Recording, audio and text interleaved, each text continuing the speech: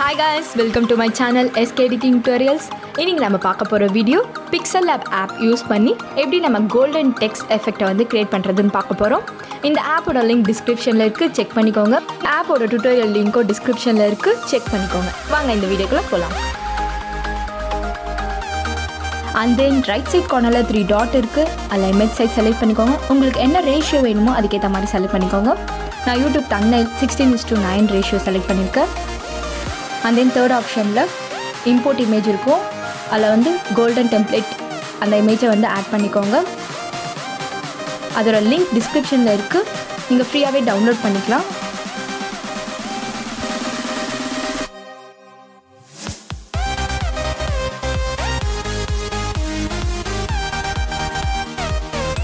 Second option click பண்ணுங்கள் ஏன்ற letter அதில் டெக்ஸ்ட்னு இருக்கும்.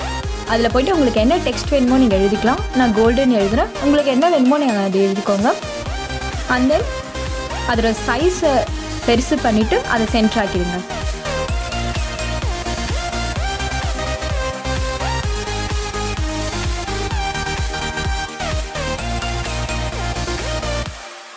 ஸ்க்ரோல் பண்ணிட்டு வந்தீங்கன்னா டெக்ஸ்சர்னு இருக்கும். அதை செலக்ட் பண்ணிக்கோங்க. நீங்கள் என்ன இமேஜ் வேணாலும் ஆட் பண்ணிக்கலாம்.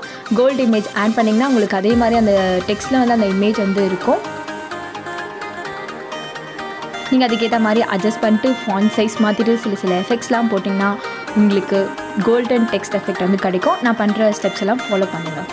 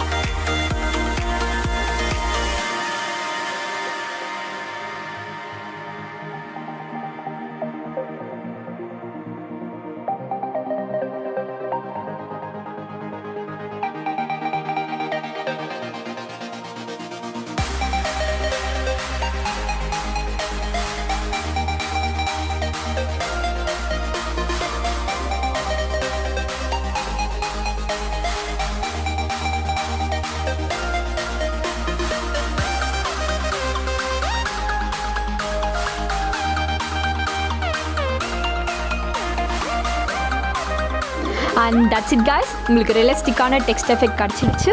நீங்கள் ஜஸ்ட் சேவ் பண்ணிக்கோங்க. உங்கள் கேலரியில் சேவ் ஆகிடும் அண்ட் தேங்க்ஸ் ஃபார் வாட்சிங் திஸ் வீடியோ உங்களுக்கு இந்த வீடியோ பிடிச்சிருந்தா like subscribe and share with your friends next day next வீடியோவில் பார்ப்போம்.